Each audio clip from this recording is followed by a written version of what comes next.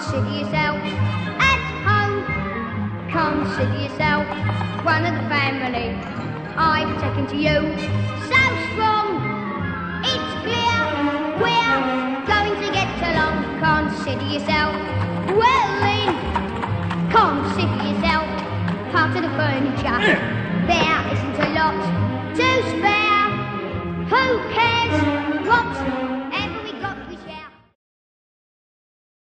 Would turn out rather worse for you than it would for me, me dear.